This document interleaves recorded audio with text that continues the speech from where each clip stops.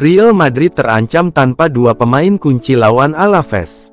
Dalam berita terkini mengenai Real Madrid muncul kekhawatiran mengenai ketersediaan dua pemain kunci Jude Bellingham dan Dani Carvajal untuk pertandingan mendatang melawan Alaves. Bellingham saat ini mengalami ketidaknyamanan di bahunya yang menimbulkan keraguan mengenai partisipasinya. Keputusan mengenai kemampuannya untuk bermain akan dibuat besok. Situasi yang melibatkan kedua pemain tersebut menjadi tegang selama pertandingan terakhir melawan Espanyol yang dimenangkan Real Madrid dengan skor telak 4-1. Carvajal sempat membuat para penggemar khawatir ketika ia meminta untuk diganti tak lama setelah mencetak gol penyeimbang. Ia mengalami benturan di paha kanannya tetapi untungnya tidak mengalami cedera serius seperti yang dikonfirmasi oleh Carlo Ancelotti. Sementara itu masalah Bellingham terlihat jelas di awal pertandingan ketika ia terjatuh ke tanah terlihat jelas merasakan sakit di bahu kirinya yang sama dengan yang dialaminya tahun lalu. Meskipun demikian ia berhasil terus bermain hingga digantikan oleh Endrick di akhir pertandingan. Menurut laporan staf pelatih bersama dengan tim medis akan bertemu besok untuk membahas apakah dia harus beristirahat menjelang pertandingan melawan Alaves pada hari Selasa. Bellingham juga menjalani perawatan untuk masalah bahunya dan seperti Carvajal status permainannya akan dievaluasi besok. Indikasi saat ini menunjukkan bahwa kedua pemain tersebut mungkin tidak akan bermain sebagai starter dalam pertandingan melawan Alaves, terutama dengan derby penting melawan Atletico de Madrid yang akan berlangsung akhir pekan depan.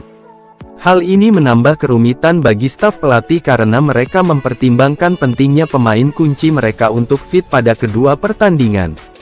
Dengan mempertimbangkan derby, keputusan untuk mengistirahatkan Bellingham dan Carvajal dapat menjadi keputusan yang bijaksana secara strategis memastikan mereka dalam kondisi terbaik untuk pertandingan yang lebih intens. Staf pelatih kemungkinan akan mempertimbangkan risiko yang dihadapi kedua pemain tersebut. Meskipun kontribusi mereka sangat penting bagi keberhasilan tim memastikan mereka pulih sepenuhnya sama pentingnya.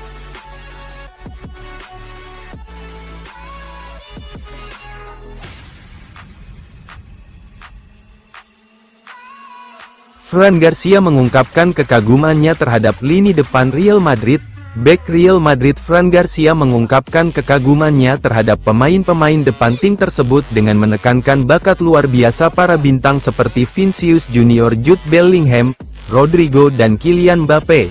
Menurut Fran Garcia para pemain ini memiliki kemampuan yang membedakan mereka seolah-olah mereka, dari planet lain, Komentarnya mencerminkan penghargaan tinggi yang ia miliki terhadap rekan-rekan setimnya dan tingkat keterampilan yang mengesankan yang mereka bawa ke dalam skuad, Vini Junior, Jude Bellingham, Rodrigo dan Mbappe berasal dari planet lain, kata bek tersebut seperti dikutip oleh Mundo Deportivo, berbicara setelah pertandingan melawan Espanyol Garcia menyuarakan kekecewaannya mengenai kartu kuning yang diberikan kepada tiga pemain Real Madrid karena memprotes keputusan wasit.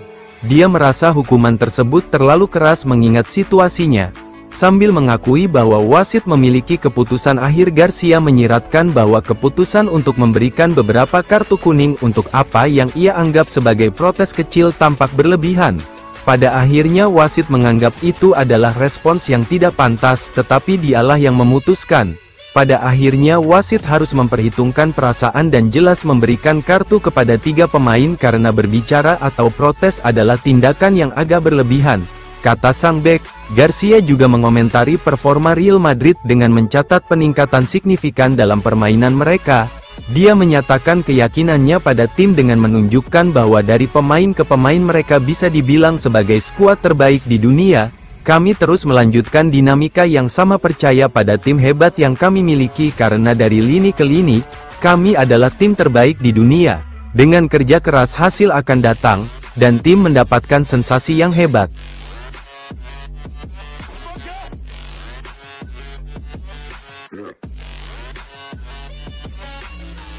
Real Madrid masih minati untuk bintang The Blues dengan 11 gol dari 158 penampilan. Real Madrid dilaporkan masih mempertahankan minat dan sedang mempertimbangkan untuk mengajukan tawaran kepada Chelsea guna mendatangkan Reece James pada bursa transfer mendatang. James yang telah menjadi bagian penting dari The Blues sejak debutnya di tim utama pada musim 2019 per 2020 di bawah arahan Frank Lampard, dianggap sebagai salah satu bek kanan muda paling berbakat di dunia sepak bola. Namun rangkaian cedera yang sering menghantui kariernya membuat situasinya di Chelsea saat ini cukup rumit. Sejak memulai debutnya, James telah bermain dalam 158 pertandingan bersama Chelsea menyumbangkan 11 gol dan 22 assist. Salah satu momen puncaknya adalah saat dia turut berperan dalam kemenangan Chelsea di Liga Champions pada musim 2020 per 2021 di mana dia tampil dalam 10 pertandingan sepanjang kompetisi tersebut. Meski memiliki potensi besar cedera hamstring berulang kali menjadi masalah utama yang mengganggu konsistensi permainannya. Pada musim 2023 per 2024 James hanya mencatatkan 482 menit bermain sebelum harus menjalani operasi hamstring untuk memulihkan kondisinya. Meskipun menjalani pramusim dengan harapan besar James kembali mengalami masalah hamstring di awal musim 2024 per 2025 sehingga menghambat kontribusinya di bawah manajer baru Enzo Maresca. Meski begitu Maresca dikabarkan masih melihat James sebagai pemain kunci dalam skuadnya dan berharap sang kapten klub bisa segera pulih untuk membantu timnya bersaing di berbagai kompetisi. Namun Real Madrid tampaknya tertarik untuk memanfaatkan situasi ini. Menurut laporan dari media Spanyol Vicajes Carlo Ancelotti dan manajemen Real Madrid tidak khawatir dengan riwayat cedera yang dialami James.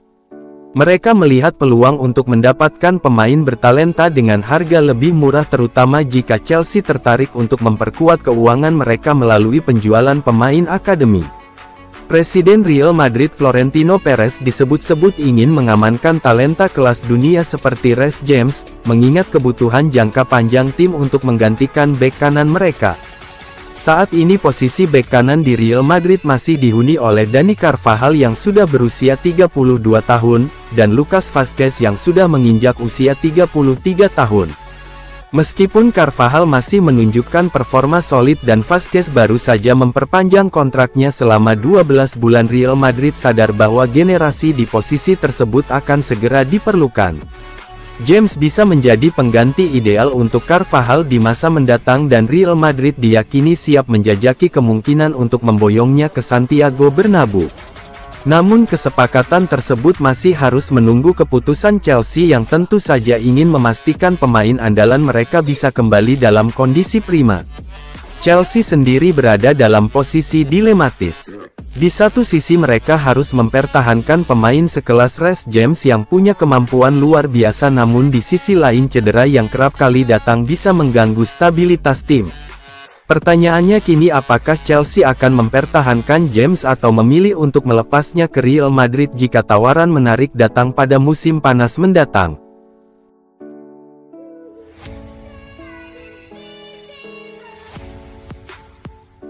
Kiper Espanyol sebut Courtois adalah yang terbaik.